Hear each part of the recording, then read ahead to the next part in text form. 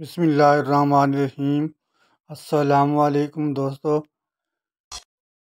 ये नो फराज फरेजे मेरे चैनल को सब्सक्राइब कर दें और घंटी वाला बटन दबा दो लाइक भी कर दें। इसका सेक्शन का टांका लीक था, एक टांका लीक यहाँ से थोड़ा सा एल आया हुआ तो चेक कर, यहाँ से लीक कर रहा था। अभी मैंने ये टांका तो लगा दिया, अभी इसको दोबारा चेक करते हैं, हमारा लीक तो नहीं हो रहा। सर्फ वाला पानी मिला के और इस पर लगाना है। और लीकेज होगा तो ये इसके ऊपर बुलबुले बनेंगे और नहीं होगा तो इसमें नहीं बनेंगे।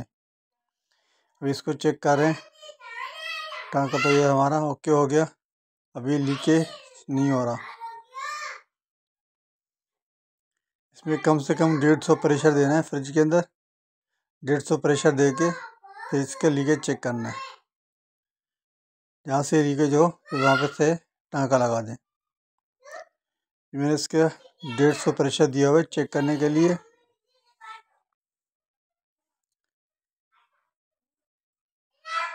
अब इसको मैंने वैक्यूम पे लगा दिया कम से कम दस मिनट इसको वैक्यूम करें। अच्छी तरीके वैक्यूम करेंगे तो फिर फ्रिज आपका कूलिंग सही करेगा।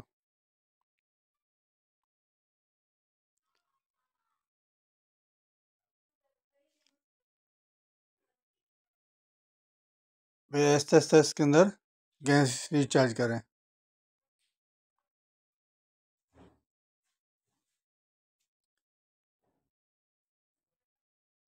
मैं इसकी गैस रिचार्ज कर रहा हूँ ऐसा ऐसा एक साथ एक साथ गैस डालोगे तो फिर कंप्रेसर पे लोड पड़ेगा तो गैस ऐसा ऐसा छोड़नी है।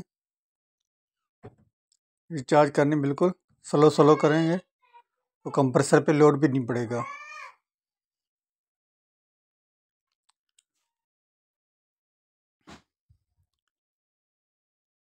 अभी मैं इसका दस का प्रेशर छोड़ दूँगा, ताकि दोबारा गैस डालने की ज़रूरत नहीं पड़ेगी। ये अपनी पोजीशन पे आ जाएगी फिर गैस।